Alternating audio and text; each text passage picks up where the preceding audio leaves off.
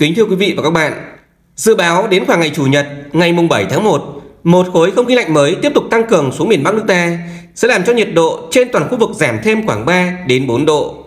Đồng thời cũng gây ra một đợt mưa nhỏ mưa rào nhẹ rải rác cho toàn khu vực Bắc Bộ. Dự báo xa hơn từ khoảng ngày mùng 10 tháng 1, một khối không khí lạnh mới có cường độ khá mạnh sẽ tiếp tục tăng cường xuống miền Bắc nước ta, sẽ gây ra một đợt mưa rào và rông rải rác cho các tỉnh thành Bắc Bộ, tập trung chủ yếu tại khu vực Trung Du đồng bằng, cục bộ sẽ có nhiều điểm xuất hiện mưa vừa và mưa to, đồng thời cũng khiến cho nhiệt độ trên toàn khu vực giảm thêm từ 4 đến 5 độ.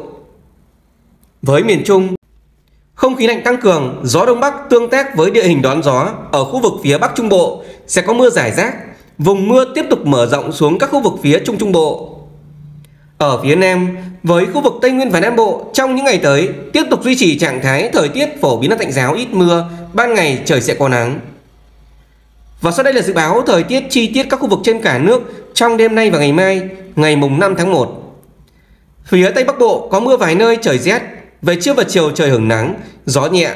Nhiệt độ thấp nhất là từ 13 đến 16 độ, có nơi dưới 12 độ. Nhiệt độ cao nhất là từ 21 đến 23 độ. Riêng khu vực Tây Bắc có nơi trên 23 độ. Phía Đông Bắc Bộ có mưa vài nơi, trời rét, về trưa và chiều trời hưởng nắng, gió Đông Bắc cấp 2, nhiệt độ thấp nhất là từ 14 đến 17 độ. Ở vùng núi là từ 11 đến 13 độ, vùng núi cao có nơi dưới 9 độ, nhiệt độ cao nhất là từ 18 đến 22 độ. Khu vực Hà Nội có mưa vài nơi trời rét, về trưa và chiều trời hưởng nắng, gió Đông Bắc mạnh cấp 3, nhiệt độ thấp nhất là từ 15 đến 17 độ. Nhiệt độ cao nhất là từ 19 đến 22 độ, có nơi trên 22 độ. Khu vực từ Thanh Hóa đến Thừa Thiên Huế ở phía Bắc, khu vực Thanh Hóa Nghệ An có mưa vài nơi trời rét. Ở phía Nam có mưa, mưa rào rải rác, trời lạnh, gió Bắc đến Tây Bắc ở mức cấp 2, cấp 3.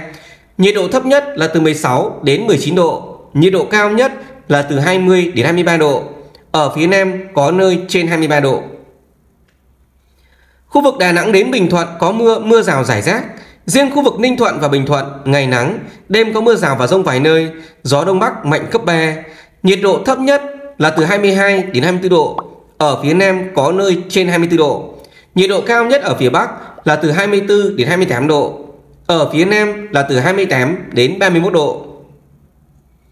Khu vực Tây Nguyên ngày nắng, chiều tối và đêm có mưa rào và rông vài nơi, gió Đông Bắc đến Đông mạnh cấp 2, nhiệt độ thấp nhất là từ 16 đến 18 độ, nhiệt độ cao nhất là từ 28 đến 30 độ. Khu vực Nam Bộ ngày nắng, chiều tối và đêm có mưa rào và rông vài nơi, gió Đông Bắc mạnh cấp 2, nhiệt độ thấp nhất là từ 23 đến 26 độ, nhiệt độ cao nhất là từ 32 đến 35 độ. Ở khu vực miền Đông Nam Bộ có nơi trên 35 độ.